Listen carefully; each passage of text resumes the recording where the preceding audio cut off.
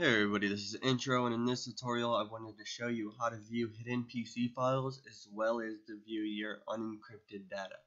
So, what I mean by unencrypted data is your unencrypted fol folders that are on your computer and how to view them. So, for hidden PC files, which I'll show you first, is the command you're going to want to use is attrib or A-T-T-I-R-B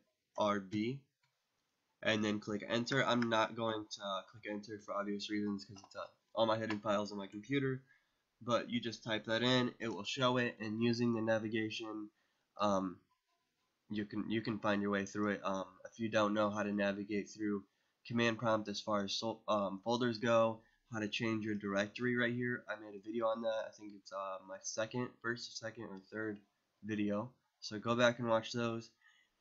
But for now that's how you view your hidden files and next I want to show you how to view your unencrypted data. So to do that, you're going to want to type in cipher. So just C-I-P-H-E-R.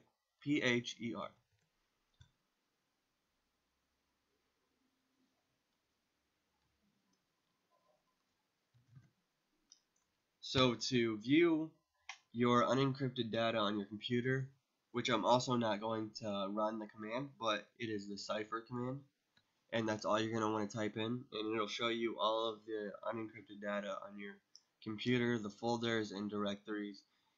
And basically um, it'll only show your um, new like the NTFS of it which is a new technology file system which is part of a, a Windows family the Windows NT operating system family.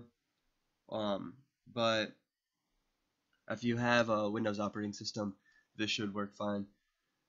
So just run those two commands, um, and I'll see you in the next video. So thank you for watching, and have a good day.